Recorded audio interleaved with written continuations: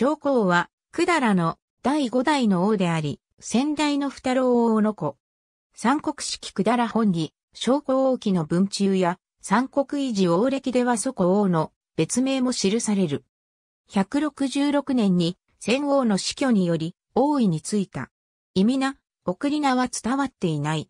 両党王、高尊度の娘をめとる。子に、アダク病。先代の二郎王の末年より白木との交戦体制に入っており、しばしば白木と戦った。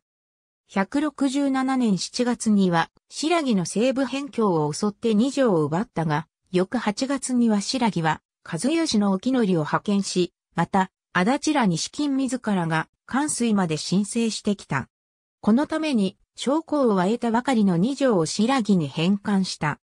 170年にも白木の辺境に侵攻し、その後も188年2月に母山城を攻め、189年7月には九条で戦って敗れ、死者504人を出した。190年8月には円山里を襲撃し、さらに進んで韓国城を包囲した。この時、白木の将軍の金谷道を河津山まで引きつけて大いに打ち破った。204年7月には、古死者城を攻略して、これを落とし、城主の節夫を殺した。白木王がこれに起こり、異抜の昔リオンを将軍として送り、砂城まで攻めてきた。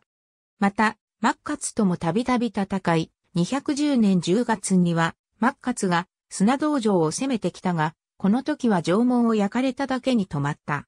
214年9月には、マハテニ戦の兵を率いさせ、マッカツの石門城を奪った。しかし、同年10月、マッカツは、騎馬隊を率いて、術水まで攻めてきた。この直後、将校は死去した。在位49年であり、死因の詳細については不明である。古事記では、王神天皇の知性に、百済の子に騎士寺師公の名が記されている。寺師公王は馬市つがいと論語などの書物を王神天皇に献上し、八吉氏と和に吉氏を使者として日本に使わしたとされている。この寺師公が将校に否定されているが、年代から第13代の金将校とする説もある。ありがとうございます。